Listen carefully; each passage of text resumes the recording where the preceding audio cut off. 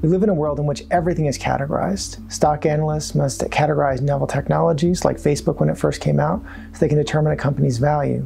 And social media companies have to figure out how to classify the deluge of new and potentially controversial images and videos online. Everything is categorized, but where do these categories come from? And why do we find so much agreement on them across different cultures? To understand how this happens, we devised an experiment in which people were asked to invent new categories for a large number of unfamiliar shapes. People who did this individually or in small groups organized these shapes in very different ways.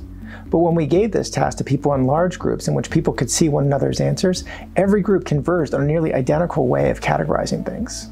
Our study shows that the explanation for why people categorize things in the same way across independent cultures is not in the brain, but it comes down to people's social networks.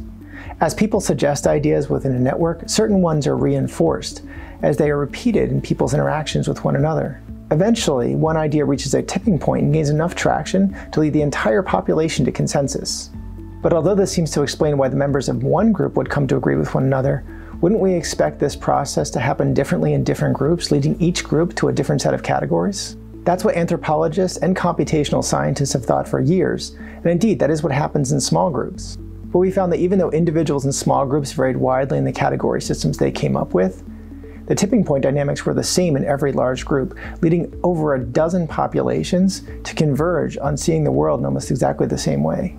This only happens in large enough networks, but we found that even 50 people was enough to make the same categories emerge in every population.